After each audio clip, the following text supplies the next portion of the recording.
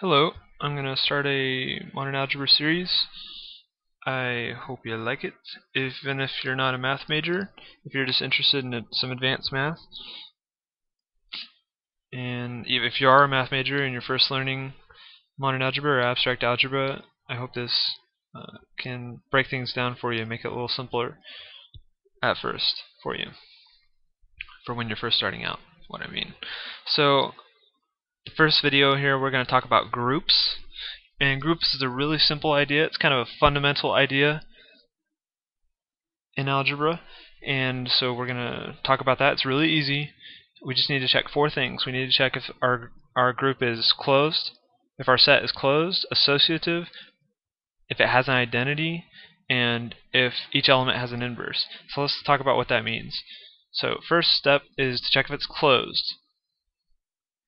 So we're going to take the positive real numbers and the operation we're going to be using is multiplication.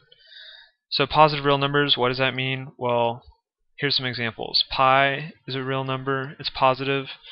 1 17th is a positive real number. 4 gajillion, that's a positive real number, no problem, right? So these are positive real numbers. And so let's see if it's closed. So when we take two positive real numbers and we multiply them together, do we get another positive real number? In this case, it's about 0.185, which is definitely a positive real number, right? So we're good. We're closed. Next step, we're going to check and see if it's associative. Associative, what does that mean? It means basically if you regroup the numbers in different a different order, do you get the same thing? Yeah, you do. 4 times 7 times 5, no matter what order you do it in, you're going to get 140, right? So, we're good on associativity. To show that what that formula means, you know, what associativity means, it means A star B star C equals A star B star C my teacher always said it faster if it was in parentheses. So let's keep going. It is associative. Okay, now we need to check if it has an identity. Identity, what does this mean? Well, it means we're talking multiplication, so it means if we take a number, can we multiply it by something and always end up with that the original number? We can, right? We can just multiply times 1 like 7 times 1, that's going to be 7. 1 times 7, that's 7. Any number, whatever you pick, if you just multiply it by 1, you get the that same number. So, in, quote, advanced algebra, you know, notation, we'd say x starred with the identity equals x. Okay, and for the identity, we're going to be using e. So for multiplication, the identity is just 1. Because x times 1 is x, right? But we we are not necessarily just talking about multiplication in abstract algebra, but for just to make it easy, that's what we're talking about in this example. Okay, so I hope I didn't make it any more complicated for you. But basically, yes, we do got an identity. It's 1 for the positive real numbers with multiplication. Okay, so inverses. So inverse, this means can we multiply, if we have a number, can we multiply it by something to end up with our identity? Like take 7, can we multiply that by something to get 1, which is our identity? We can, right? We can just multiply it times 1 seventh. So the way we write this, x times the inverse of x is our identity.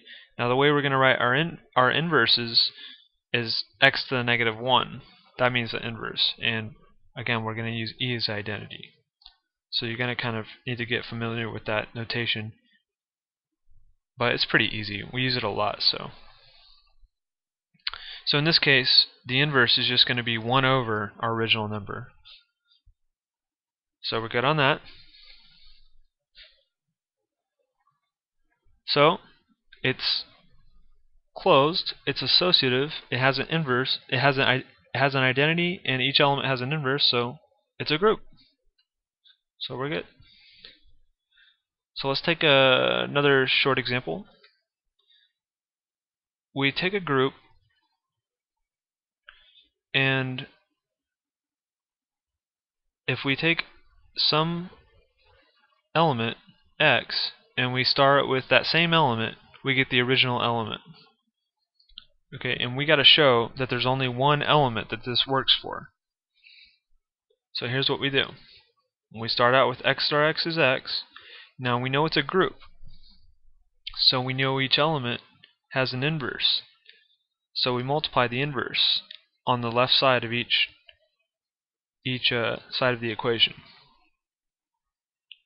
So in x inverse star with x, what is that again? Do you remember? It's just e, right? It's just our identity. So we end up with just e star x equals e.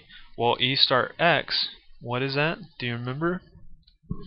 e star x, that's just x, right? It's like we have 1 times x. Again, that's just going to be x.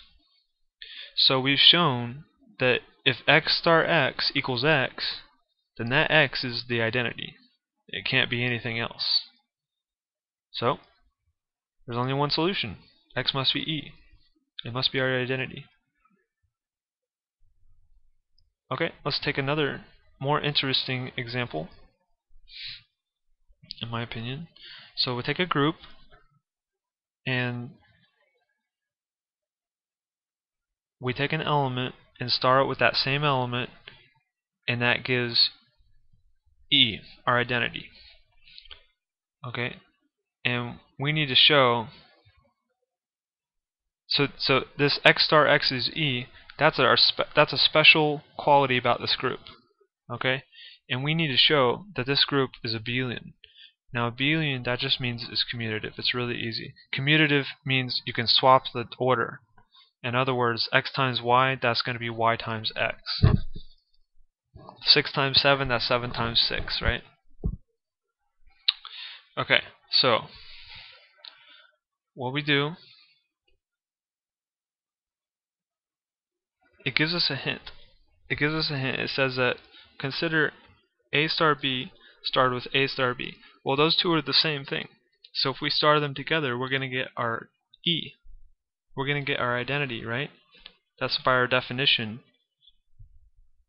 So we have A star B, start with A star B is E.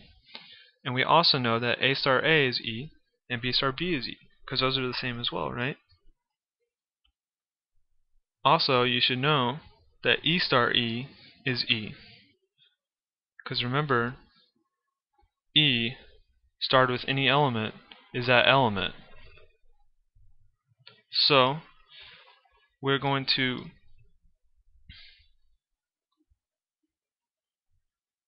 what are we going to do? We're going to set this up. We're going to say let G be a group and we're going to define that quality of the group that x star x is e for all the x's in in, in our uh, group. And we're going to take two elements, a and b, in our group. Okay, and we need to get down, we need to show that it's commutative, that it's abelian, that it's an abelian group. That means that b star a is a star b. If we've shown that, then we're done. So that's our goal. So it's always good to write down our goal. So we take we know A star B starred with A star B, that's E, right? And we know that A star A is E and B star B is E. So we can write this equation is true because E equals E star E.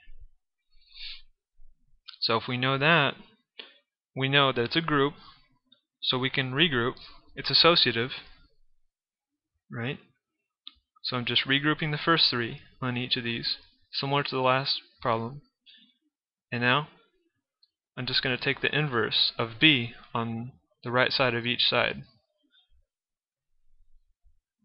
And now you know that b star b inverse, that's just e, right? So that just goes away. Okay, so now we're left with this. And I'm going to regroup again. Actually, you could probably finish it if you wanted to. but I'll just go ahead and do it for you. Alright, so regroup, and now we see that we can just multiply by the inverse of a on the left hand side of each of these sides. And that's just going to be e. So that's just going to go away. So look what we're left with, exactly what we needed to show. So it's pretty simple once you see it. A lot of these problems work out really nice and neat like this. It's a pretty interesting class. So, we've shown that, G that our group is abelian. So we're good. And so I hope you liked the video. And let me know what you thought. I'm thinking of doing some more videos. I'm thinking about doing 10 lectures on modern algebra. So, depending on some of the feedback I get. And so just just let me know. Suggestions, comments, criticisms, let me hear it all. Thanks for watching. Bye.